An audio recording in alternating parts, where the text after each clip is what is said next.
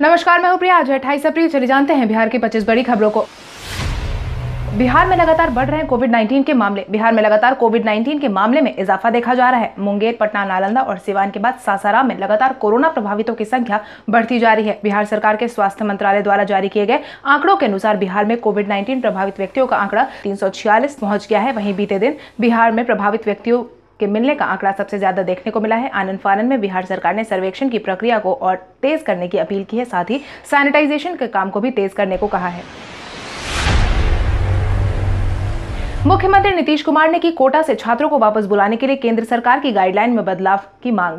मुख्यमंत्री नीतीश कुमार ने कोटा से अपने छात्रों को वापस बुलाने के लिए केंद्र सरकार के सामने अपनी शर्तें रखी हैं, जिसके तहत उन्होंने कहा है कि जब तक केंद्र सरकार अपने गाइडलाइन में बदलाव नहीं करेगी, तब तक कोटा में फंसे छात्रों का लाना संभव नहीं है। जिसके तहत मुख्यमंत्री नीतीश कुमार ने कहा कि प्रधानमंत्री नरेंद्र मोदी को देश के दूसरे राज्यों में बिहार के छात्र भी पढ़ते हैं। अगर कोटा से छात्रों को वापस बुलाया जा रहा है तो उन छात्रों को वापस बुलाने के बारे में भी सोचना चाहिए। इसीलिए पहले केंद्र सरकार द्वारा जारी किए गए गाइडलाइन में संशोधन किया जाए तभी छात्रों को बाहर से बुलाने की संभावना बनेगी।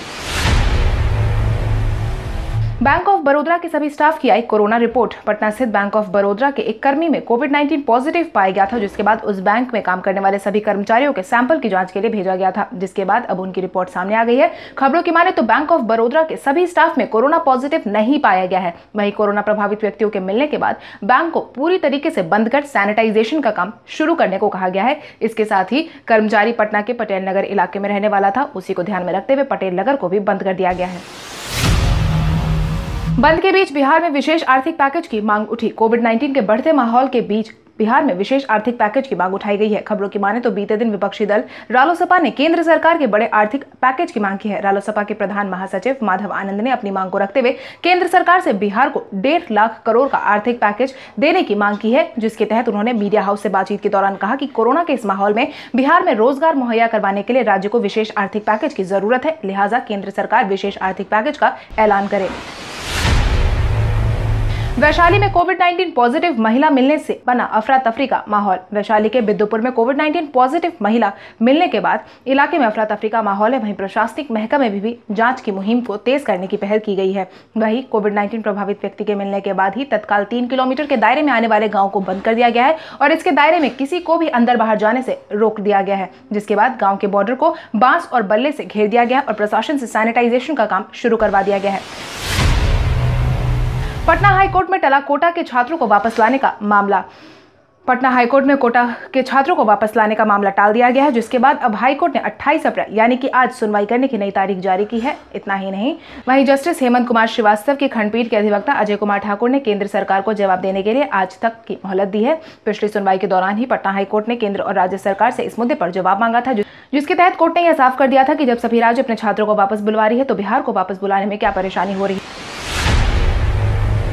मुख्यमंत्री नीतीश कुमार ने प्रधानमंत्री नरेंद्र मोदी से की मांग। बीते दिन प्रधानमंत्री नरेंद्र मोदी के साथ विभिन्न राज्यों के मुख्यमंत्रियों के साथ हुई बैठक में मुख्यमंत्री नीतीश कुमार ने प्रधानमंत्री नरेंद्र मोदी से वेंटिलेटर, पीपीई किट और टेस्टिंग किट की मांग की है, जिसके तहत मुख्यमंत्री नीतीश कुमार ने कहा है कि बिहार में चौदह अप्रैल से पहले कोरोना के छियासठ पॉजिटिव मामले मिले थे, जो अब बढ़कर तीन सौ के आंकड़े को पार कर चुके हैं। उन्होंने इसके आगे कहा कि बिहार के छात्रों को कोटा से वापस बुलाने की मांग पर भी विचार विमर्श किया जा रहा है। वहीं इसके तहत उन्होंने केंद्र सरकार के सामने कुछ शर्तें भी रखी हैं। मधुबनी में महिला सिपाही में कोविड 19 पाया गया पॉजिटिव। बिहार के मधुबनी ज़िले में भी लगातार कोरोना के मामले बढ़ते जा रहे हैं, जहाँ पर एक महिला समेत पाँच लोगों में कोविड 19 पॉजिटिव पाया गया है, जिसके बाद महिला सिपाही के पॉजिटिव आते ही साठ जवानों को आइसोलेशन में डाल दिया गया है। खबरों के माने तो महिला सिपाही गया से कुछ दिन पहले मधुबनी गई थी। इतना ही नहीं, गया में भी इस समय कोविड नाइन्टीन के मामले लगातार बढ़ते ही जा रहे हैं। संभावना यही जताई गई है कि हो सकता है कि वह महिला जवान वहाँ किसी से मिलकर आई हो। बिहार में 1700 से ज़्यादा पदों पर रिक्तियों के आवेदन की आखिरी तारीख बढ़ी आगे। बिहार के सभी बारहवीं पास अभ्यर्थियों के लिए खुशखबरी। बिहार संयुक्त प्रवेश प्रतियोगिता परीक्षा बोर्ड में 1700 से ज़्यादा पदों पर जारी किए गए रिक्तियों पर आवेदन की आखिरी तारीख को आगे बढ़ा दिया गया है। खबरों की माने तो राजस्व एवं भूमि सुधार विभाग ने अमीन के पदों पर बहाली के लिए इच्छुक व योग्य उम्मीदवारों का ध्यान रखते हुए तीस अप्रैल तक आवेदन को आगे बढ़ा दिया है, जिसके बाद अभ्यर्थी इसके आधिकारिक website B C E board dot Bihar dot G O V dot I N पर जाकर आवेदन भर सकते हैं। कोविड 19 के मामले मुंगेर में लगातार बढ़े। बिहार के मुंगेर ज़िले में लगातार कोविड 19 के मामले सामने आ रहे हैं। मुंगेर के जमालपुर में कोविड 19 के मामले लगातार बढ़ते जा रहे हैं। बीते दिन आई रिपोर्ट के अनुसार 10 से ज़्यादा मरीज़ पॉजिटिव पाए गए थे जिसके बाद ज़िले में प्रभावितों की संख्या 80 से पार पहुँच चुकी है, जिसके बाद मुंगेर, बिहार के सभी जिलों के मुकाबले सबसे ज़्यादा प्रभावित जिला बन गया है। मुंगेर के बाद सबसे ज़्यादा प्रभावितों की संख्या में नालंदा देखा गया है। आरबीआई ने बिहार सरकार को दी राहत। आरबीआई ने बिहार सरकार को राहत देते हुए सिकिंग फंड में ऋण चुकाने के लिए 1000 करोड़ की राशि दी है। खबरों की माने तो अगर आरबीआई अपनी तरफ़ से यह राशि मुहैया नहीं करवाती तो बिहार सरकार को अपने राजकोष राशि में से ये राशि देनी पड़ती, जिससे कि अब सरकार आने वाले दिनों में राष्ट्रीय एवं विकास कार्यों पर खर्च कर सकेगी। इसकी जानकारी उप मुख्यमंत्री सुशील कुमार मोदी ने दी है, जिसके तहत उन्होंने कहा है कि 2009 में सिंकिंग फंड के गठन के बाद राज्य सरकार पहली बार इसकी ब्याज राशि का उपयोग लोक ऋण की किश्त चुकाने के लिए कर रही है। सीआरपीएफ के हवाले से किया गया कोविड 19 हॉटस्पॉट तय। सासाराम में प्रभावित मिले सभी इलाकों में सीआरपीएफ को लगाया गया है। वहीं सासाराम में कोविड 19 के संक्रमित मरीजों की संख्या काफ़ी ज़्यादा बढ़ चुकी है। उस इलाके को पूरी तरीके से बंद कर सीआरपीएफ के हवाले कर दिया गया है, जिसके बाद हॉटस्पॉट इलाके में किसी भी व्यक्ति के बाहर निकलने पर अब उसकी खैर नहीं रखी जा रही है। सीआरपीएफ के जवान लगातार गश्त कर रहे हैं। बिहार में तैतीस हज़ार शिक्षकों की बहाली अगले महीने से होगी शुरू। बिहार सरकार जल्द ही बिहार में तैतीस हज़ार नौ सौ सोलह शिक्षकों की बहाली प्रक्रिया शुरू करने जा रही है। शिक्षा विभाग नियुक्ति प्रक्रिया शेड्यूल जारी करते हुए इस बात की जानकारी दी है कि अगले महीने से बहाली की प्रक्रिया को शुरू कर दिया जाएगा। खबरों की माने तो नवंबर में होने वाले विधानसभा चुनाव के मद्देनजर आचार संहिता लागू होने से पहले दो हज़ार नौ सौ पचास अपग्रेड माध्यमिक और उच्च माध्यमिक विद्यालयों में शिक्षक की नियुक्ति प्रक्रिया सुनिश्चित करने के लिए फैसला लिया गया है।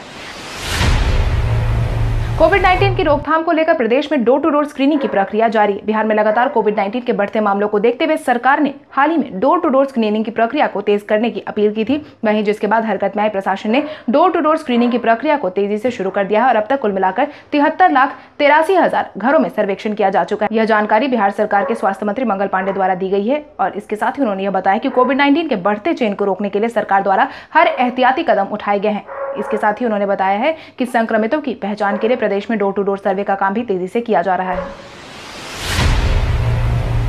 बिहार में मनरेगा के तहत छह लाख से अधिक मजदूरों को मिलेगा काम। बिहार में मनरेगा के तहत छह लाख से अधिक मजदूरों को काम दिया गया है। बीते एक हफ़्ते में, सूबे में सात हज़ार नौ सौ इकहत्तर पंचायतों में मनरेगा के तहत काम शुरू कर दिया गया है, जिसके बाद काम मिलने वाले मजदूरों की संख्या जारी की गई है। ग्राम विकास विभाग ने यह ध्यान रखा है की जल संरक्षण, सूक्ष्म सिंचाई तथा पारंपरिक जल स्रोतों का जीर्णोद्धार के संबंधी योजनाओं पर काम अधिक से अधिक हो, जिससे की ज़्यादा से ज़्यादा मजदूरों की आवश्यकता हो, साथ ही मजदूरों की सहायता भी हो सके। महिमन में सभी मजदूरों को पैसे मिलने में भी देरी न हो, इसकी ज़िम्मेदारी सभी जगह उप विकास आयुक्त को सौंप दी गई है। अप्रैल के अंत तक सात जिलों में हो सकती है बारिश। अप्रैल महीने के अंत तक बिहार के सात जिलों में बारिश होने की संभावना जताई गई है। विभाग की माने तो बिहार के सारण, जमुई, भोजपुर, चंपारण ज़िले में बारिश के कारण बारह लोगों ने जान गंवाई थी। वहीं आने वाले दिनों में भी बारिश होने की संभावना जताई गई है। मौसम की जानकारी देने वाली एजेंसी स्काईमेट का कहना है की पूरे उत्तर पश्चिम भारत में प्री मानसून सीज़न में एक मार्च से पच्चीस अप्रैल के बीच सामान्य से इकतालीस फ़ीसदी ज़्यादा बारिश की रिकॉर्ड की गई है और यह कारण है की आने वाले दिनों में बिहार के कुछ जिलों में बारिश होने की संभावनाएँ बढ़ गई है। इतना ही नहीं, मौसम विभाग ने यह भी साफ़ कहा है कि बिहार में इस हफ़्ते भी बंगाल की खाड़ी से आ रही नमी को लेकर हवाएँ चलेंगी और यही कारण है कि अप्रैल के अंत में प्री मानसून बारिश होगी। लालू यादव ने मुख्यमंत्री नीतीश कुमार पर कसा तंज? बिहार के पूर्व मुख्यमंत्री लालू यादव ने मुख्यमंत्री नीतीश कुमार पर तंज कसते हुए कहा है कि मुख्यमंत्री नीतीश कुमार जी को बिहार के बाहर फंसे लोगों की कोई चिंता नहीं है और यही कारण है कि वह प्रवासियों को दोबारा बुलाने का मन नहीं बना रहे, बल्कि इससे साफ़ तौर पर इनकार कर रहे हैं। मुख्यमंत्री नीतीश कुमार के रवैये को देखकर यह साफ़ लग रहा है कि बाहर फंसे लोगों को बिल्कुल भूल गए हैं। सिर्फ़ लालू प्रसाद यादव ही नहीं, विपक्षी दल के कई नेताओं ने मुख्यमंत्री नीतीश कुमार के स्टैंड की आलोचना की है। विपक्षी दलों का कहना है कि सरकार इस तरह से पेश आ रही है जैसे बाहर फंसे मजदूरों से उनका कोई रिश्ता नाता ही नहीं है।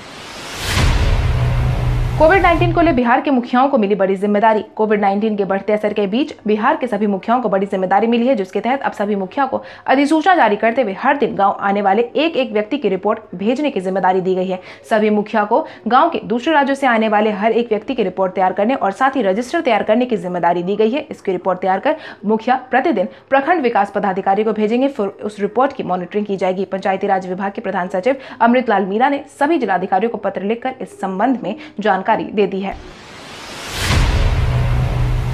पटना में दूसरी जगह से आकर योगदान देने वाले कर्मियों को अब कोविड 19 का करवाना होगा जाँच। भुगतादेश जिलाधिकारी कुमार रवि ने देते हुए यह साफ़ कर दिया है कि पटना समेत राज्य के बाहर से आकर योगदान देने वाले कर्मियों का कोविड 19 का जाँच करवाना आवश्यक है। जाँच के बाद ही कोई भी कर्मी अपने कार्यालय में योगदान दे सकेंगे, जिसके लिए सभी जिलों के जिलाधिकारियों को पत्र निर्गत करवा दिया गया है। वहीं साफ़ तौर पर यह कह दिया गया है कि लॉकडाउन की अवधि में बहुत सारे पदाधिकारी, पुलिस पदाधिकारी और पुलिसकर्मी दूसरे राज्यों में फंसे हुए थे, वहीं अब उनका पटना आना शुरू हो गया है। ऐसे में हर किसी की जाँच करवाना आवश्यक है।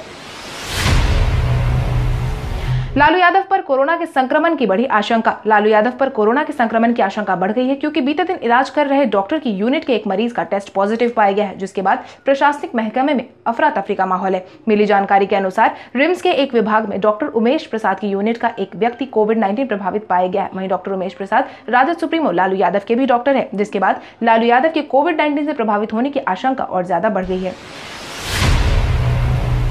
बंद की अवधि में शिक्षक बने उपेंद्र कुशवाहा। कोरोना के बढ़ते असर के बीच उपेंद्र कुशवाहा शिक्षक के रूप में दिखाई दिए हैं। अपने पैतृक आवास पर गाँव के छात्रों को बीते दिन उपेंद्र कुशवाहा पढ़ाते देखे गए हैं, जिसका वीडियो उपेंद्र कुशवाहा ने अपने फेसबुक और ट्विटर हैंडल से शेयर किया है, जिसमें वह छोटे छोटे छात्रों को सोशल डिस्टेंसिंग का पूरा ध्यान देते हुए बैठा कर पढ़ाते नज़र आए हैं। वहीं वीडियो शेयर करते हुए उपेंद्र कुशवाहा ने लिखा है बंद की अवधि में सोशल डिस्टेंसिंग का ध्यान रखते हुए ग्रामीण छात्रों के लिए आज से मैंने अपने आवास पर पड़ोस के छात्रों को पढ़ाना शुरू किया है। लालू यादव के समधी ने तेजस्वी यादव पर कसा तंज? लालू यादव के समधी और तेज प्रताप यादव के ससुर चंद्रिका राय ने तेजस्वी यादव पर तंज कसते हुए कहा है कि कोटा के छात्रों की इतनी चिंता है तो वह खुद दिल्ली में क्यों बैठे हैं? तेजस्वी यादव बस कोटा के छात्रों के नाम पर राजनीति करने में जुटे हुए अगर उन्हें सच में छात्रों की चिंता है तो उन्हें तो सरकार के साथ मिलकर लोगों की मदद करनी चाहिए, लेकिन उन्हें कोविड नाइन्टीन के इस माहौल में राजनीति सूझ रही है। वहीं चंद्रिका राय ने मुख्यमंत्री नीतीश कुमार की तारीफ़ करते हुए कहा कि आज कोविड नाइन्टीन की जारी जद्दोजहद में जिस तरह से मुख्यमंत्री नीतीश कुमार बिहार की जनता की मदद कर रहे हैं, वह काबिल तारीफ़ है।